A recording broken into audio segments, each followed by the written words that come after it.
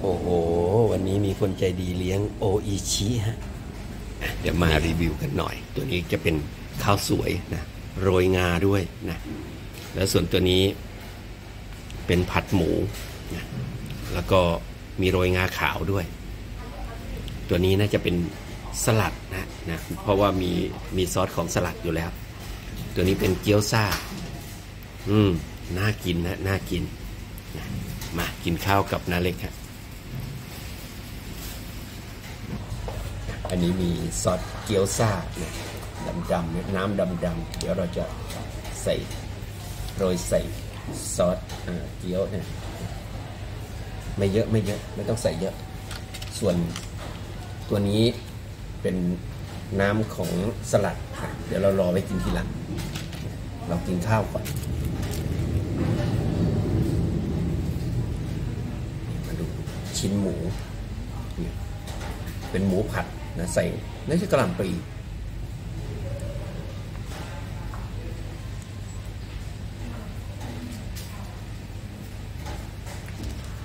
รสชาติหวานๆจืดๆนะอืมก็ดีครับแบบนี้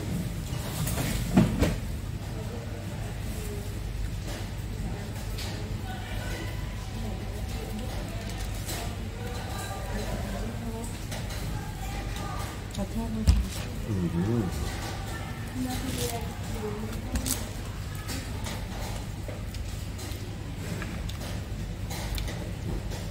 ผักกะหล่ำปลี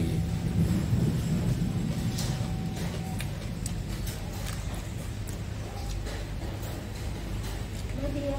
น้ำน้ำของหมออืมลูกเกี๊ยวซ่าเนี่ยเดี๋ยวลองกินดู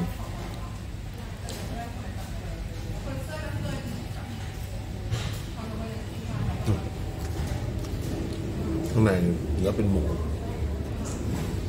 แล้วก็แป้งที่ห่อเกี๊ยวเนี่ยมันจะนุ่มนะจะกรอบเฉพาะตรงที่เป็นขอบขอบๆนะสีเข้มๆเนี่ยอร่อยหยาะน้ำซอสนิดเดียวนะไม่เยอะ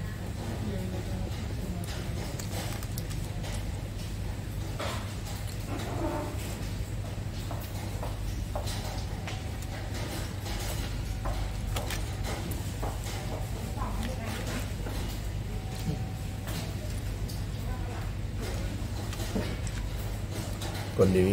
ก็พามารีวิวมาชิมข้าวนะข้าวกล่องนะของโออิชิมีผัดหมู ใส่กระลำปีแล้วก็มีเกี๊ยว แล้วก็ของอีกเบอร์หนึงนะสลัดผักนะเดี๋ยวก็ถือว่าอิ่มด้วยแหละ แล้วก็ข้าวสวยที่เป็นโรยงาดำนะ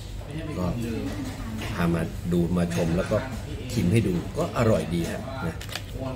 แต่มันรสชาติมันไม่ได้ว่าจี๊ดจ๊าดนะเป็นแบบรสชาติกลางๆอร่อยดีสำหรับคลิปนี้ก็ฝากไว้เพียงเท่านี้ผม สวัสดีครับ